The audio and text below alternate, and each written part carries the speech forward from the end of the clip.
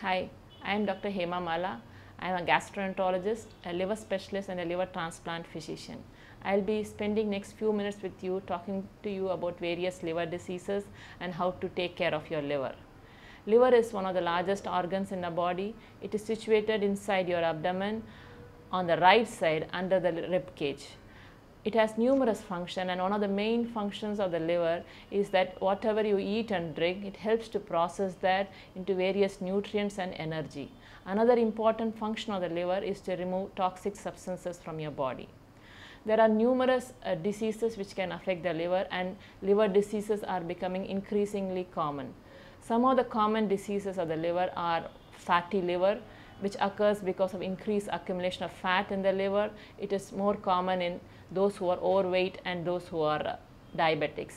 Next common disease is viral hepatitis.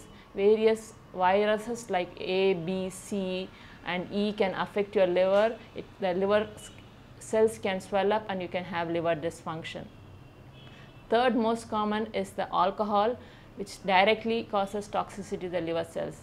Some of the more dangerous and end stage liver disease is you must have been very familiar with the term called as cirrhosis which means a scarred and a shrunken liver and a liver cancer. Treatment for these two last two diseases is usually liver transplantation. Fortunately, liver has got an enormous capacity to regenerate itself. So, if you are able to detect the previous diseases in the early stage, you can still cure yourself. So, what are the, some of the ways you can take care of the liver? Number one, eat a healthy diet and have a regular exercise. When you eat a healthy diet, you are able to maintain your weight in the healthy range, which prevents the deposition of excess fat in your liver. So, what can you eat? Eat a balanced diet. So, eat the right amount of grains, cereals, fruits, vegetable, meat and oil. Avoid foods which have too much of sugar or fat. Keep a regular exercise schedule. If you are not able to go to a gym, just walk that extra bit from your daily schedule. This will help you keep your uh, weight in the healthy range. The second way to keep your liver healthy is to avoid drinking excess alcohol.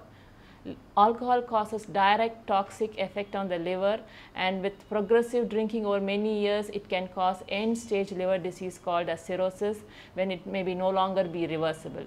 Talk to your doctor about what is the right amount of alcohol you can take. The third thing by which you can take care of your liver is to screen yourself for any viruses.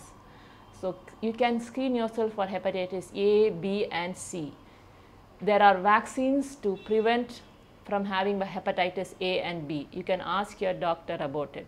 Hepatitis C is usually you acquire it by either by sexual transmission or using infected needles through IV drug use or through tattoos. So, if so avoid having tattoos or if at all please see to it that you have you use clean sterile needles. There are treatments available for these viral diseases which if you detect early uh, then end stage liver disease can be prevented. The fourth thing is that manage your med medications. So, you should know what your medications you are taking, how it affects liver. You should avoid certain medications in excess dose. So, go through with your doctor the medications which you are taking and see if any of them can affect your liver in excess doses. So, summarizing whatever I have told you so far.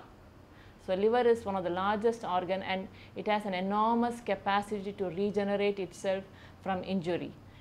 So, if you can take care of the liver from an early stage and avoid the possible additional insult to your liver like the viruses, alcohol or excess fat, you can keep a healthy liver for life.